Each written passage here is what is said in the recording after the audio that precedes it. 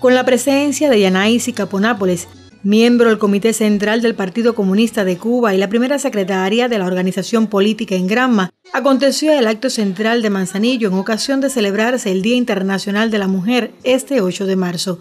Merecidos reconocimientos recibieron en la oportunidad féminas que constituyen batallón de vanguardia en las tareas convocadas por la Revolución cubana en pos del desarrollo socioeconómico del municipio y la nación. En nombre de las homenajeadas, Bárbara Tomé San Miguel ponderó la significación de la efeméride y el rol social de la mujer cubana. Es mucho más que un día festivo en el que se rinde homenaje a las féminas. Es el día de la lucha mundial por lograr la emancipación e igualdad de la mujer. Hoy, mientras millones de mujeres en el mundo luchan por alcanzar sus más sentidas necesidades para ellas y sus familias, las cubanas somos beneficiarias y activas protagonistas de la obra revolucionaria. Exhibimos logros notables en lo social, político, económico y cultural.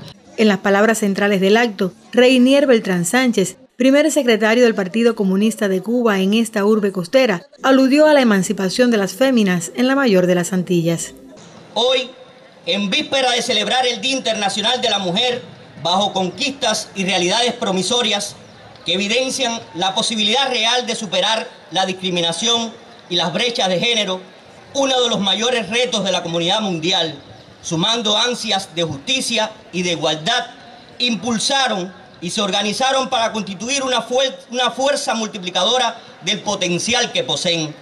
Hicieron una revolución dentro de la revolución así como las definiera nuestro querido comandante en jefe Fidel Castro Ruz, quien inmortalizó el concepto de que cuando en un pueblo pelean los hombres y pueden pelear las mujeres, ese pueblo es invencible.